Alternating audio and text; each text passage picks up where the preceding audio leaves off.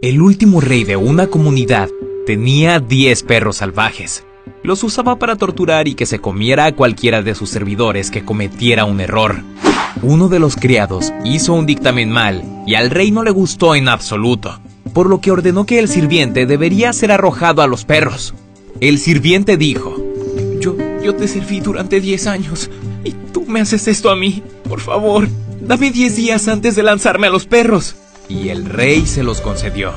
En esos diez días, el criado se dirigió al guardia que se ocupaba de los perros y le dijo que le gustaría servir a los perros durante los próximos diez días. El guardia estaba desconcertado, pero estuvo de acuerdo, y el criado se dedicó a la alimentación de los perros, la limpieza, a bañarlos y con todo tipo de confort para ellos.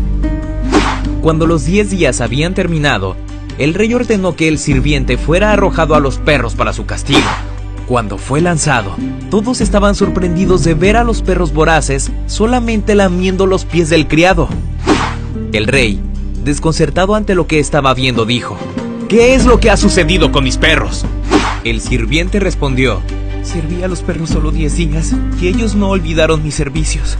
Sin embargo, te serví por 10 años y tú te olvidaste de todo. En mi primer error. El rey se dio cuenta de su error y ordenó que el criado fuera puesto en libertad. A veces olvidamos quién estuvo con nosotros en las buenas y en las malas, y quien nos dio todo sin esperar nada a cambio.